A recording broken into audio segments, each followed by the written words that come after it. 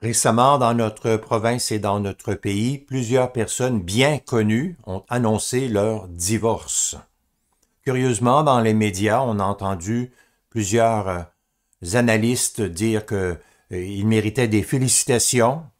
On devrait leur dire bravo, parce que c'est beaucoup de courage et c'est de force. Et même les enfants de ces gens-là, nous a-t-on dit, devraient remercier leurs parents pour le divorce, parce que c'est souvent la bonne chose à faire et que finalement le divorce, ce n'est pas si grave que ça, c'est une bagatelle qui permet à chacun de réorienter sa vie, etc., etc.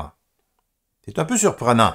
C'est un peu surprenant parce que, en réalité, dans la vérité des choses, euh, le divorce, ce n'est pas une petite bagatelle sans importance. Ça amène beaucoup de souffrance, de solitude, de remise en question.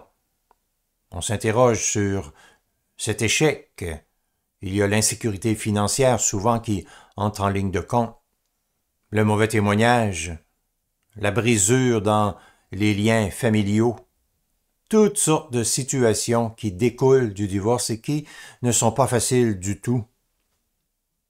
La Bible dit que le mariage soit honoré de tous. La Bible dit aussi que Dieu déteste le divorce, que l'homme ne doit pas séparer ce que Dieu a uni. Ça ne veut pas dire que Dieu ne pardonne pas à ceux qui sont divorcés. Dieu offre son pardon à quiconque se repent de ses péchés et croit en Jésus-Christ. Mais il n'en demeure pas moins que le divorce n'est pas une petite bagatelle sans importance. C'est quelque chose qui peut causer beaucoup de difficultés, de blessures. C'est pourquoi il faut demander à Dieu qu'il nous donne un amour qui dure jusqu'à la fin, un amour qui triomphe de tous les obstacles. Ce sont ceux qui mettent cet amour-là en action qui méritent des félicitations, à qui on devrait dire bravo, parce qu'ils ont réussi, par la force de Dieu, à vaincre leur égoïsme, leur individualisme qui fait que c'est toujours mes droits, mes droits, mes droits, sans jamais vouloir faire de concessions, sans jamais vouloir euh, plier sur euh, notre orgueil.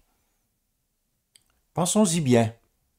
Pensons-y bien la force d'aimer jusqu'à la mort d'une façon sacrificielle et vivante, vient d'en haut, elle vient de Dieu. Demandons-la à Dieu.